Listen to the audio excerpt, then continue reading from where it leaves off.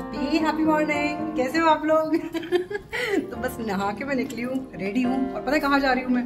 बताऊँ कहीं घूमने नहीं जा रही हूँ मैं? मैं जा रही हूँ, समझे? मैं जा रही हूँ डेंटिस्ट के पास और ऐसा नहीं कि मेरे दांत में कीड़ा लगा हुआ है या मुझे दांत में दर्द हो रहा है, मैं इसलिए नहीं जा रही हूँ। पता मैं क्यों जा रही हूँ? एवरी सिक्स मंथ्स आप भी इसको ना रूल बनाओ अपनी लाइफ का कि every six months you should visit a dentist ज़रूर जाना चाहिए डेंटिस्ट के पास और आपको टीथ स्केलिंग करानी चाहिए स्केलिंग मतलब जो क्लीनिंग होती है टीथ की, वो थोरो क्लीनिंग ज़रूर करानी चाहिए। क्यों?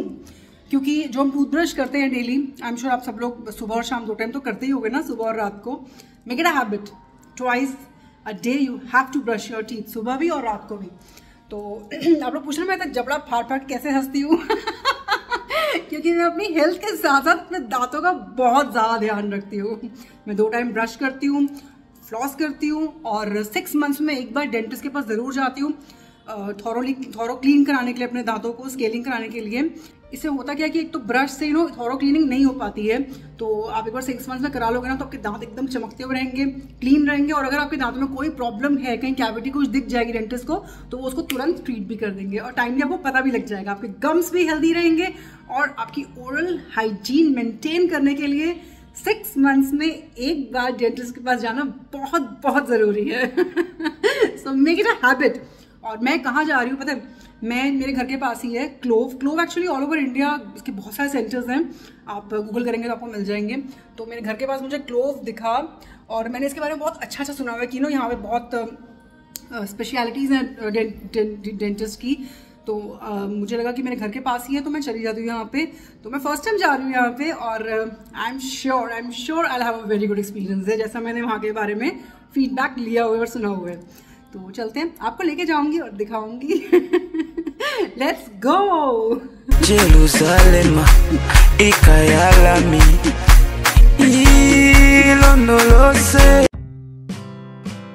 सच बताना हम जब भी डॉक्टर के पास जाते हैं हमें घबराहट सी होती ना लेकिन मुझे नहीं हुई। पता है क्यों? क्योंकि मुझे एंटर करते ही ना वहाँ पे स्माइली स्माइली से खूब सारे फेसेस दिख रहे थे।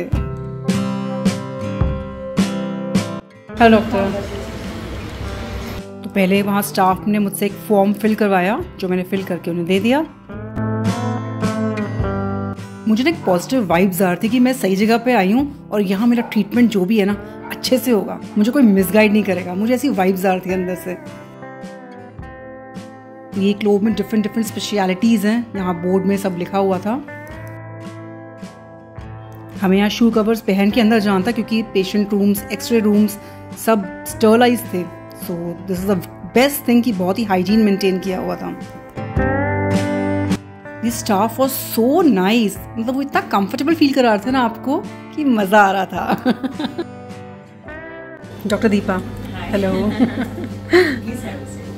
I have heard too much you know good about low so I am sure I have have good experience thank you thank you so much doctor Deepa जितनी देखने में स्वीट लग रही है ना आपको, वो उतनी ही स्वीट डॉक्टर भी हैं। इतने कंफर्टेबली उन्होंने मेरा ट्रीटमेंट किया, मुझे हर चीज़ इतनी अच्छे से समझाई और मुझे सारा प्रॉपरली गाइड किया।